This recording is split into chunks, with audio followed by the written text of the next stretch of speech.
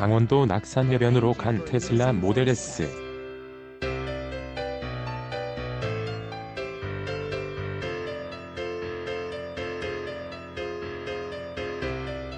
세상에 나온 가장 혁신적인 전기자동차 EV 테슬라가 한국에서 본격적인 판매를 시작했다.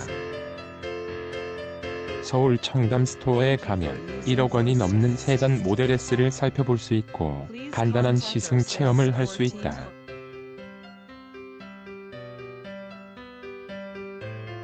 얼마 전에는 테슬라 전기차가 보조금을 받을 수 있다는 소식도 전해졌다. 앞으로 서울 시내에서 테슬라를 볼 수 있는 기회가 늘어날 전망이다. 미국에서는 반값 테슬라란 이름이 붙어진 모델 3이 생산에 돌입했다. 자동차 업계의 아이폰이 될 수 있다는 테슬라에 대한 소비자 관심이 높아지고 있다.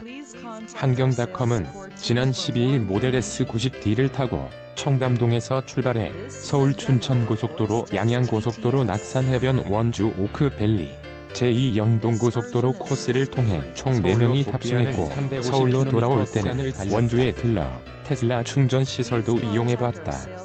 뉴스레빗 1편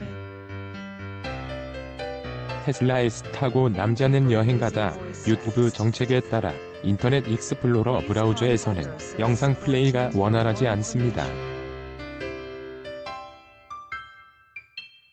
유튜브 정책 안내 닫기 달러. 레이어 인포 아이 아우투브 버튼. 클릭 펑션 달러. 레이어 인포 아이 아우투브 리무브 자동차 제조사가 시장에 내놓은 차량용 모니터 가운데 가장 크다. 오토파일럿이 더 끌려 실내 운전석 센터 엔진 시동을 걸거나 끌 때는 물론 에어컨 조절, 설루프 조작, 웹서핑까지 모든 기능이 모니터에서 이뤄진다. 차 안에 마치 PC가 달린 느낌이다. 가장 매력적인 기능은 오토파일럿이었다. 테슬라가 자랑하는 오토파일럿은 높은 완성도를 뽐냈다.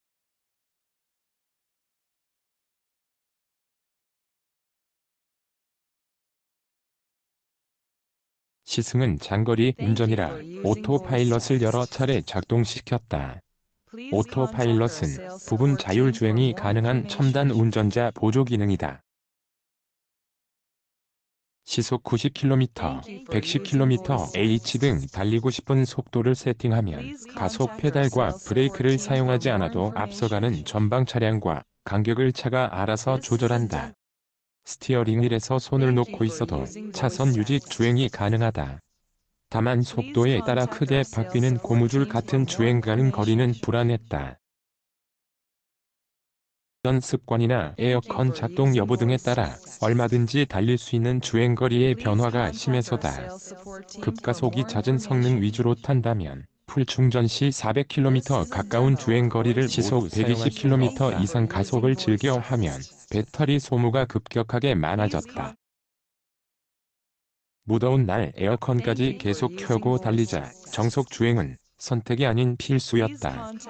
양양 해변에서 점심을 먹고 원주로 이동하려고 차를 몰았는데 주행 가는 거리가 실제 당황스러웠다. 가야 할 거리보다 적었다. 동해안까지 이어지는 고속도로에서 가속이 잦았던 탓이다.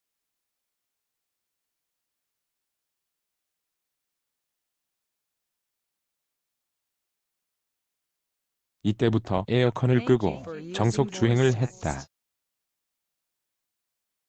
그랬더니 고속도로를 달리는 동안 주행 가는 거리는 좀 더 늘어나 다행히 테슬라 충전소를 찾는 곳까지 무사히 도착했다. 원주 오크밸리 리조트에 설치된 테슬라 슈퍼차저 스테이션에서 모델 S를 충전하고 있다.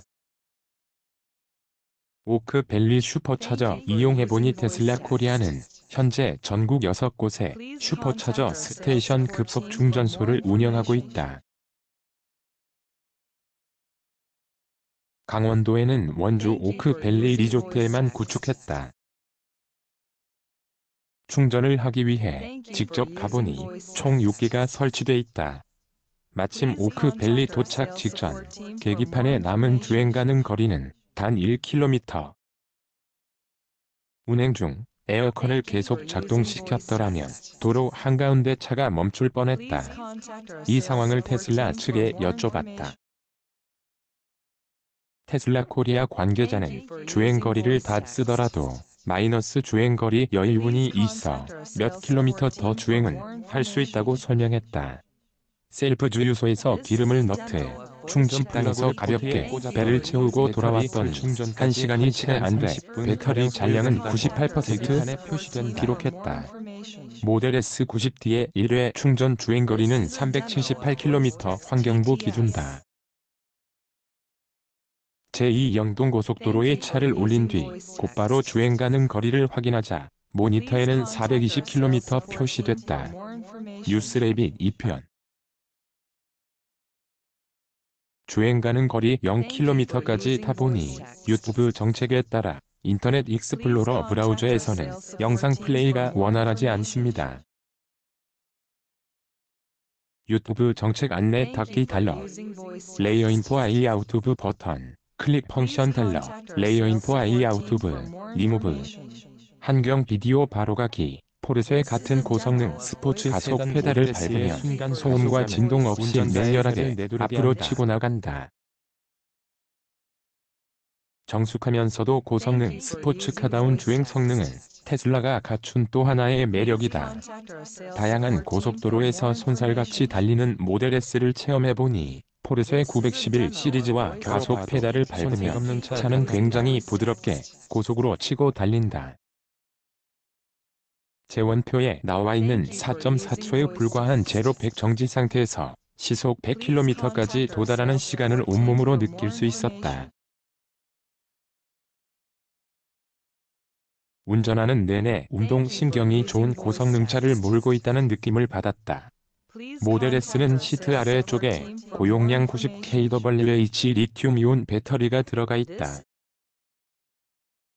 고속으로 달려도 무게 중심이 노면으로 향해 몹시 안정감 있다. 단점도 덜어 보였다.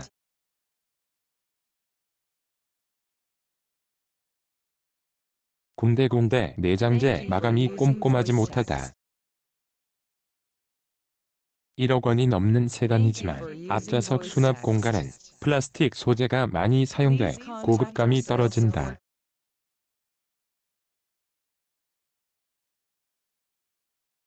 시트는 천연 가죽이 아닌 인조 가죽으로 덮었다.